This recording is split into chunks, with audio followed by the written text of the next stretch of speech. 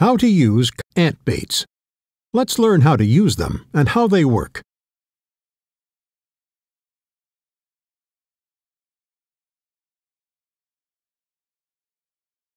Simply place the bait in an area where you see ants. Avoid using aerosol spray insecticides near the baits, since aerosols act as a repellent. The bait contains a blend of undetectable insecticide and a food matrix that attracts ants to the bait station. Ants take the bait back to the colony and the queen. Usually, the colony is outdoors.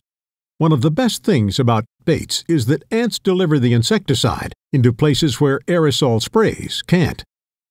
Since the ants think the insecticide is food, they share it with the queen, larvae, and other ants in the colony. This creates a domino killing effect, eliminating the entire colony. Place the baits wherever you see ants, keeping them out of reach of children and pets. You can even place them outside, adjacent to your home. Replace the baits as instructed on the packaging. When finished, simply throw them in the garbage.